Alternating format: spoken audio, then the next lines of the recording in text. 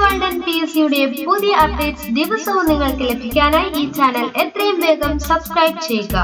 Video upload ചെയ്ത് ഉടൻ തന്നെ നോട്ടിഫിക്കേഷൻസ് ലഭിക്കാനായി അടുത്തുള്ള ബെൽ ഐക്കണിൽ ക്ലിക്ക് ചെയ്ത് നോട്ടിഫിക്കേഷൻസ് ഓൺ ചെയ്യുക.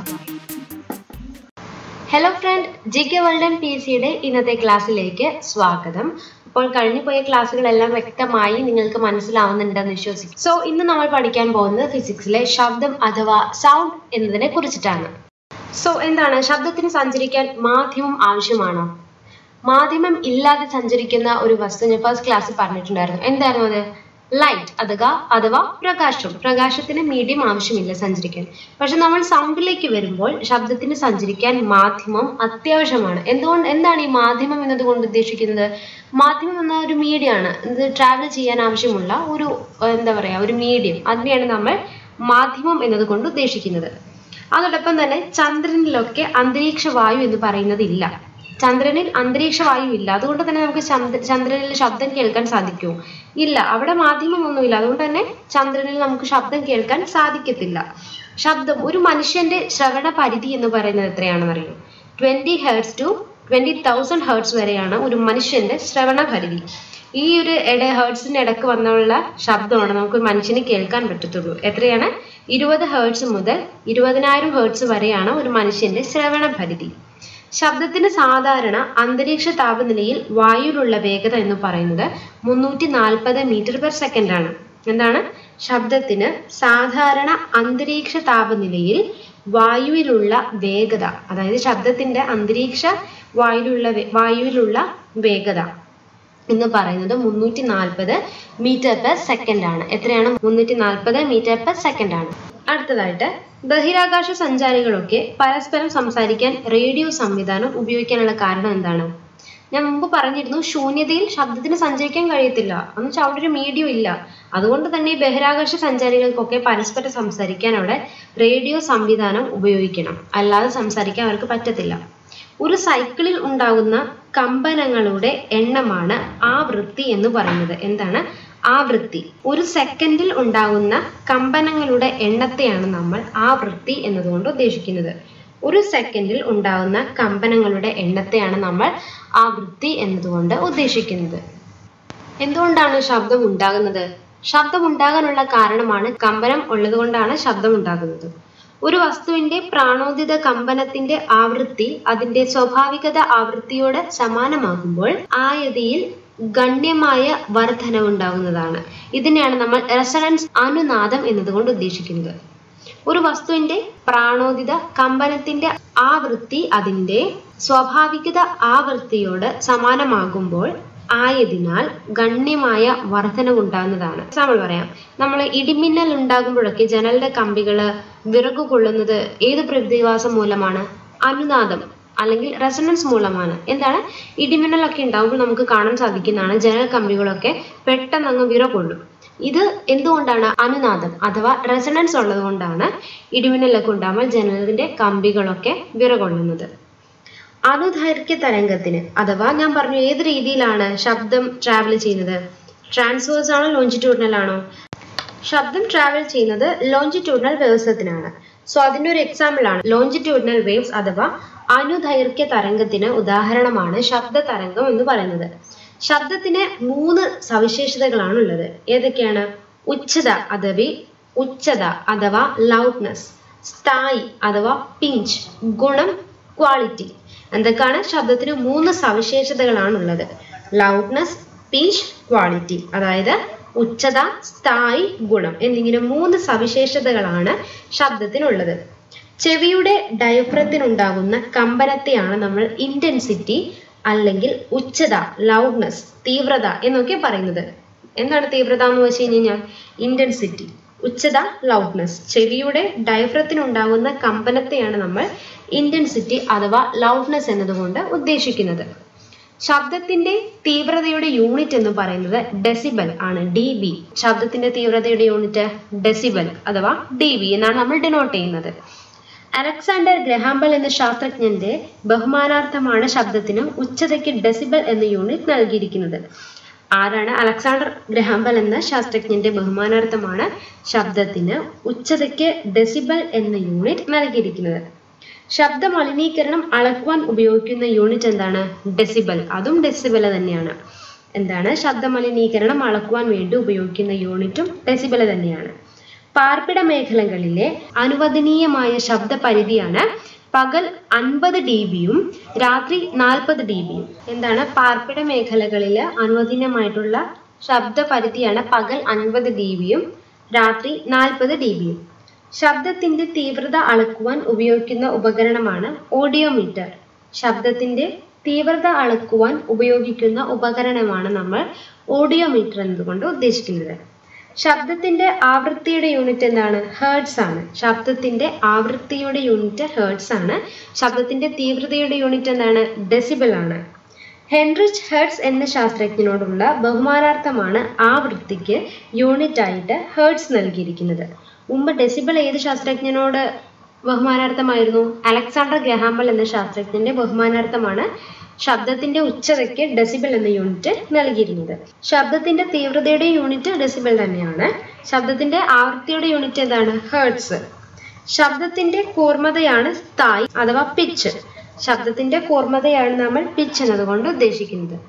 ശബ്ദത്തിന്റെ കൂർമ്മത അഥവാ പിച്ച് എന്തുമായി ബന്ധപ്പെട്ടിരിക്കുന്നു? ഫ്രീക്വൻസി അഥവാ ആവൃത്തിയായിട്ടാണ് ശബ്ദത്തിന്റെ പിച്ച് ബന്ധപ്പെട്ടിരിക്കുന്നത്. ട്യൂണിംഗ് ഫോർക്ക് കണ്ടുപിടിച്ചത് ആരാണ്? John Shore. ട്യൂണിംഗ് ഫോർക്ക് കണ്ടുപിടിച്ചത് ജോൺ ഷെയർ ആണ്. ആവൃത്തി കൂടുമ്പോൾ ശബ്ദത്തിന്റെ കൂർമ്മത എന്തായിരിക്കും? ഫ്രീക്വൻസി കൂടുമ്പോൾ ശബ്ദത്തിന്റെ ഇന്റൻസിറ്റി കൂടുകയാണ് ചെയ്യുക.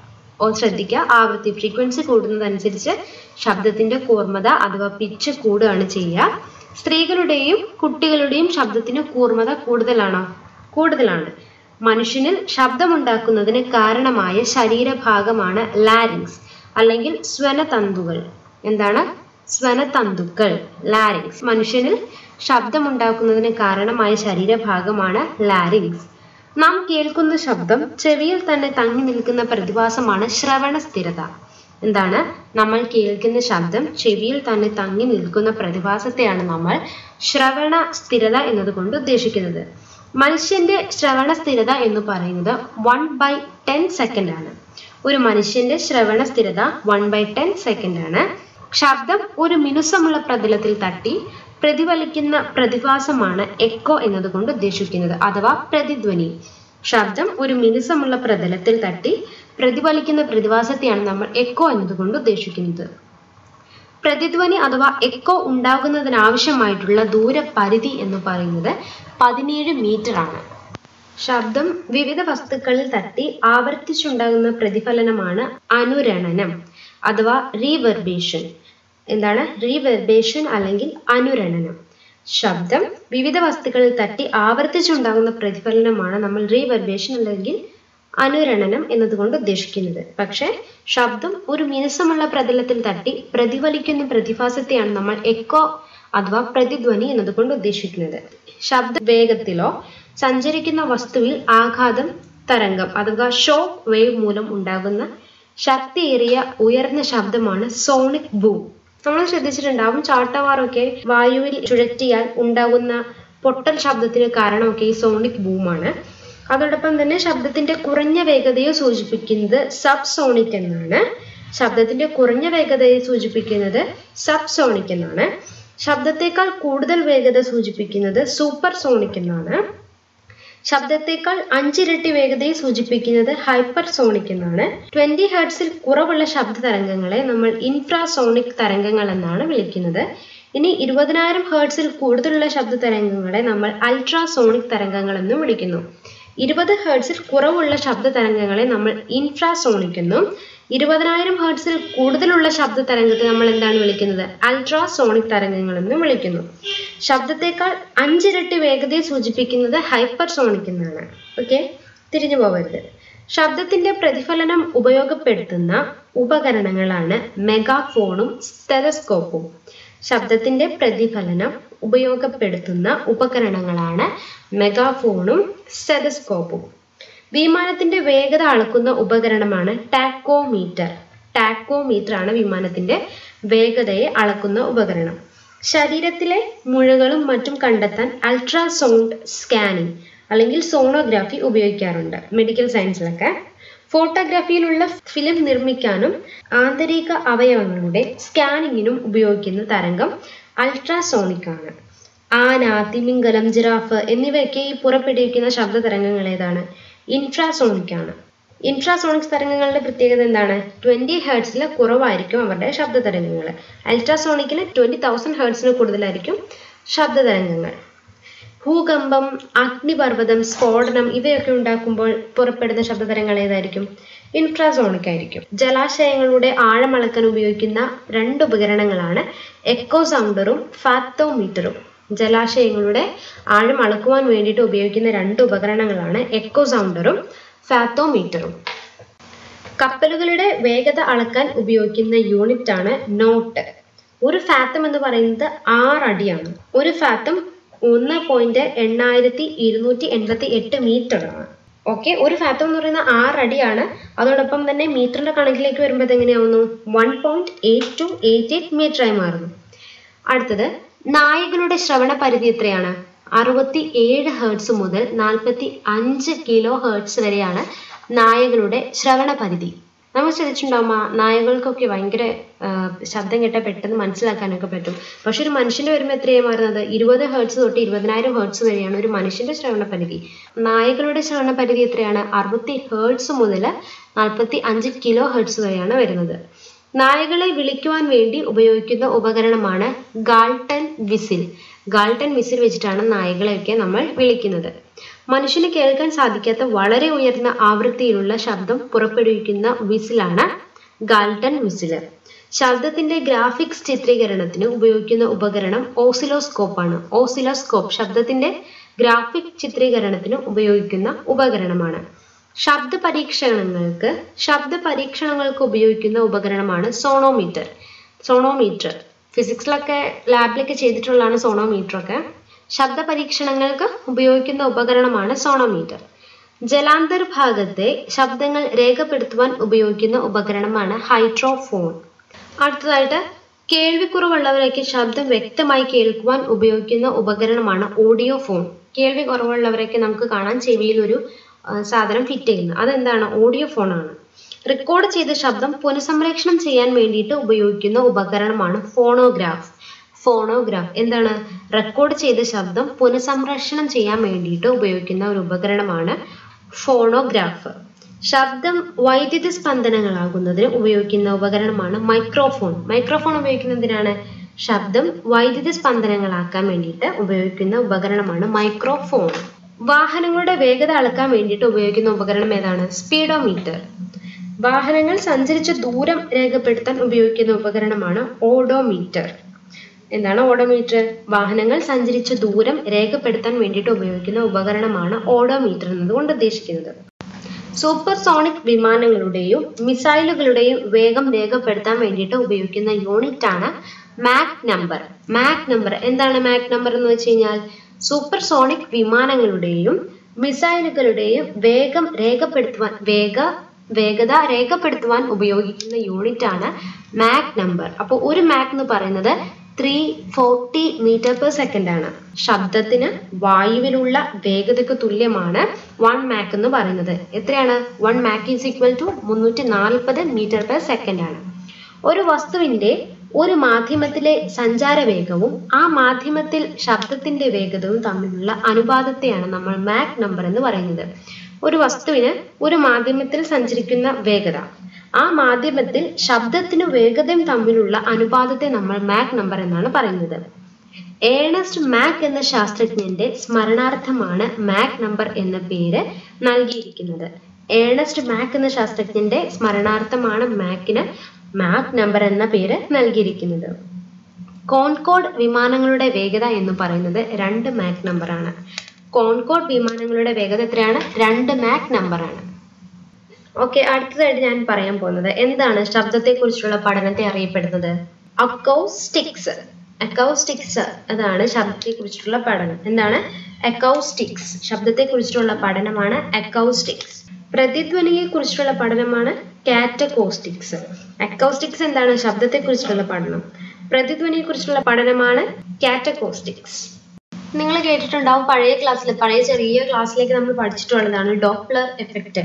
എന്താണ് ഡോപ്ലർ എഫക്ട്സ് കേൾവിക്കാരന്റെയോ ശബ്ദ സ്രോതസ്സിന്റെയോ ആപേക്ഷിക ചലനം നിമിത്തം ശബ്ദത്തിന്റെ ആവൃത്തി വ്യത്യാസപ്പെടുന്നതായി അനുഭവപ്പെടുന്ന പ്രതിഭാസത്തെയാണ് നമ്മൾ ഡോപ്ലർ എഫക്റ്റ് എന്ന് പറയുന്നത്. ഡോപ്ലർ എഫക്റ്റ് കണ്ടുപിടിച്ചത് ക്രിസ്ത്യൻ ഡോപ്ലർ ആണ് അന്തർവാഹിനി വിമാനം എന്നിവയുടെ വേഗം മനസ്സിലാക്കുന്നത് ശബ്ദത്തിന്റെ ഏത് പ്രതിഭാസം മൂലമാണ്? ഡോപ്ലർ എഫക്ട്സ് കൊണ്ടാണ് അന്തർവാഹിനി വിമാനം എന്നിവയുടെയൊക്കെ വേഗം മനസ്സിലാക്കുന്നത്. ശ്രോതാവിലേക്ക് അടുക്കുമ്പോൾ ശബ്ദത്തിന്റെ ആവൃത്തി കൂടുകയും അകലുമ്പോൾ ശബ്ദത്തിന്റെ ആവൃത്തി കുറയുകയും ചെയ്യുന്നു. ഇപ്പോൾ നമ്മുടെ അടുത്ത് തൊട്ടടുത്ത് നിന്നിട്ട് ഒരാൾ സംസാരിക്കുവാണെങ്കിൽ ആ ശബ്ദത്തിന്റെ ഫ്രീക്വൻസി കൂടുതലായിരിക്കും. നമുക്ക് നല്ല വ്യക്തമായിട്ട് കേൾക്കാൻ സാധിക്കും. പക്ഷെ നമ്മൾ ബാക്കിലേക്ക് കുറച്ച് മാറി നിൽക്കുവാണെങ്കിൽ അതിന്റെ സൗണ്ട് നമ്മൾ ദൂരേക്ക് മാറും തോറും കുറഞ്ഞു കുറഞ്ഞായിരിക്കും കേൾക്കുക. ഫ്രീക്വൻസി കുറയും തോറും നമുക്കത് കേൾക്കാൻ ഉള്ള കുറച്ച് ബുദ്ധിമുട്ടുണ്ടാവും. അതാണ് ഇവിടെ ഉദ്ദേശിച്ചിരിക്കുന്നത്. ശ്രോതാവിലേക്ക് അടുക്കുമ്പോൾ ശബ്ദത്തിന്റെ ആവൃത്തി കൂടും. ഫ്രീക്വൻസി കൂടും. എന്നാൽ അകലുമ്പോൾ ശബ്ദത്തിന്റെ ഫ്രീക്വൻസി കുറയാണ് ചെയ്യുക. അതാണ് ഡോപ്ലർ എഫക്റ്റ് ഇനി ശബ്ദത്തിന്റെ വേഗതകൾ നമുക്ക് നോക്കാം.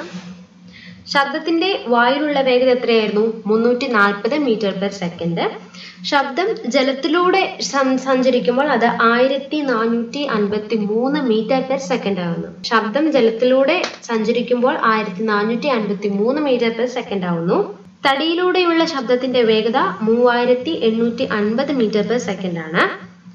സ്റ്റീലിലൂടെയുള്ള ശബ്ദത്തിന്റെ വേഗത അയ്യായിരം മീറ്റർ പെർ സെക്കൻഡ് സാന്ദ്രത കൂടിയ മാധ്യമത്തിൽ കൂടിയുള്ള ശബ്ദം അതിന്റെ സഞ്ചാരം എന്ന് പറയുന്നത് വളരെ വേഗത്തിലായിരിക്കും. ശബ്ദം ഏറ്റവും വേഗത്തിൽ സഞ്ചരിക്കുന്ന മാധ്യമം സോളിഡ് അഥവാ ഖരത്തിലൂടെയാണ് ശബ്ദം ഏറ്റവും വേഗത്തിൽ സഞ്ചരിക്കുന്നത്. ശബ്ദത്തിന്റെ വേഗത ഏറ്റവും കുറഞ്ഞ മാധ്യമമാണ് വാതകം. ഏറ്റവും കൂടുതലായിട്ട് ഏറ്റവും വേഗത്തിൽ സഞ്ചരിക്കുന്ന മാധ്യമം ഖരമാണ്. അതോടൊപ്പം ശബ്ദത്തിന്റെ വേഗത ഏറ്റവും കുറഞ്ഞ മാധ്യമം വാതകമാണ്. വ്യത്യസ്ത മാധ്യമങ്ങളിലൂടെയുള്ള ശബ്ദത്തിന്റെ വേഗത എന്ന് പറയുന്നത് ഖരത്തിലായിരിക്കും ഏറ്റവും കൂടുതൽ അതിനുശേഷം ദ്രാവ ദ്രാവകത്തിൽ അതിനുശേഷം വാതകത്തിൽ. മനസ്സിലായോ? വ്യത്യസ്ത മാധ്യമങ്ങളിലൂടെയുള്ള ശബ്ദത്തിന്റെ വേഗത എന്ന് പറയുന്നത് ഏറ്റവും കൂടുതൽ ഏതിലായിരിക്കും? ഖരത്തിലായിരിക്കും. അതിനുശേഷം ദ്രാവകത്തിലായിരിക്കും. അതിൽ ഏറ്റവും കുറവായിട്ട് വരുന്നത് വാതകത്തിലൂടെ ആയിരിക്കും ഓക്കെ നിങ്ങൾ ഇനി എക്കോ ലൊക്കേഷൻ എന്ന് കേട്ടിട്ടുണ്ടാവും അല്ലെ? എന്താണ് എക്കോ ലൊക്കേഷൻ അൾട്രാസോണിക് തരംഗങ്ങൾ ഉപയോഗിച്ചിട്ട് വഴിയിലെ തടസ്സങ്ങൾ തിരിച്ചറിയാൻ സഹായിക്കുന്ന ഈ ഒരു പ്രതിഭാസത്തെയാണ് നമ്മൾ എക്കോ ലൊക്കേഷൻ എന്നതുകൊണ്ട് ഉദ്ദേശിക്കുന്നത്. വളരെ എളുപ്പത്തിൽ നമുക്ക് മനസ്സിലാക്കാം വവ്വാൽ എക്കോ ലൊക്കേഷൻ പ്രയോജനപ്പെടുത്തുന്ന ഒരു ജീവിയാണ് വവ്വാൽ ഇരയുടെ സാന്നിധ്യം അറിയുന്നതിനും തടസ്സങ്ങൾ ഒഴിവാക്കി സഞ്ചരിക്കുന്നതിനു വേണ്ടിയിട്ട് വവ്വാൽ അതോടൊപ്പം തന്നെ ഡോൾഫിൻസ് മുതലായ ജീവികളൊക്കെ പ്രയോജനപ്പെടുത്തുന്ന ശബ്ദത്തിന്റെ തരംഗമാണ് അൾട്രാസോണിക്. സോണാർ എന്ന് കേട്ടിട്ടുണ്ടോ? എന്താണ് sonar? Sound navigation and ranging sonar എന്താണ്? സൗണ്ട് നാവിഗേഷൻ ആൻഡ് റേഞ്ചിങ് സമുദ്രത്തിന്റെ ആഴം മത്സ്യക്കൂട്ടങ്ങളുടെ സ്ഥാനം എന്നിവ നിർണയിക്കാനും കടലിലെ അടിത്തട്ടിന്റെ ചിത്രങ്ങൾ ലഭ്യമാക്കുന്നതിനും വേണ്ടിയിട്ട് ഉപയോഗിക്കുന്ന ഉപകരണമാണ് സോണാർ. സോണാർ. എന്താണ് സോണാർ ഞാൻ മുമ്പ് പറഞ്ഞിരുന്നു. സൗണ്ട് നാവിഗേഷൻ ആൻഡ് റേഞ്ചിങ് ആണ്. സമുദ്രത്തിന്റെ ആഴം മത്സ്യക്കൂട്ടങ്ങളുടെ സ്ഥാനം എന്നിവയൊക്കെ നിർണയിക്കാൻ വേണ്ടിയിട്ടും കടലിന്റെ അടിത്തട്ടിന്റെ ചിത്രങ്ങൾ ലഭ്യമാക്കുന്നതിനും വേണ്ടിയിട്ട് ഉപയോഗിക്കുന്ന ഉപകരണമാണ് സോണാർ എന്ന് പറയുന്നത്. സോണാറിൽ ഉപയോഗിക്കുന്ന ശബ്ദ തരംഗം എന്താണ് ഞാൻ ഇത്രയൊക്കെ പറയില്ലോ എന്തായിരിക്കും? അൾട്രാസോണിക് ശബ്ദം. അതായിരിക്കും സോണാറിൽ ഉപയോഗിക്കുന്ന ശബ്ദ തരംഗം. സോണാറിൽ പ്രയോജനപ്പെടുത്തിയിരിക്കുന്ന ശബ്ദ സവിശേഷത ഏതാണ്? എക്കോ ലൊക്കേഷൻ എക്കോ ലൊക്കേഷൻ ആണ് സോണാറിൽ പ്രയോജനപ്പെടുത്തിയിരിക്കുന്ന ശബ്ദ ശബ്ദത്തിന്റെ സവിശേഷത. അപ്പോൾ ഇന്ന് ഞാൻ പറഞ്ഞത് ഇതിനെ കുറിച്ചാണ്. ശബ്ദത്തെ കുറിച്ച് നമ്മൾ ഒരുപാട് കാര്യങ്ങളൊക്കെ പഠിച്ചു അല്ലേ? അപ്പോൾ എന്തെങ്കിലും സംശയം ഉണ്ടെങ്കിൽ ചോദിക്കുക. വീണ്ടും വീണ്ടും ക്ലാസ്സുകൾ ആവർത്തിച്ച് കേൾക്കുക. ഒരു നിങ്ങൾക്ക് ഇഷ്ടപ്പെടുന്നുണ്ടെങ്കിൽ തീർച്ചയായും വീഡിയോസ് എല്ലാം ലൈക്ക് ചെയ്ത് ഷെയർ ചെയ്ത് മറ്റുള്ളവർക്ക് കൂടി എത്തിച്ചു കൊടുക്കാൻ ശ്രമിക്കുക. അപ്പോൾ ചാനൽ ഇതുവരെയും സബ്സ്ക്രൈബ് ചെയ്യാത്തവരുണ്ടെങ്കിൽ എത്രയും പെട്ടെന്ന് തന്നെ ചാനലൊക്കെ ഒന്ന് സബ്സ്ക്രൈബ് ചെയ്യുക. അപ്പോൾ പുതിയ എപ്പിസോഡുമായി നാളെ നിങ്ങളുടെ മുമ്പിൽ വരുന്നതാണ്. Thank for watching my channel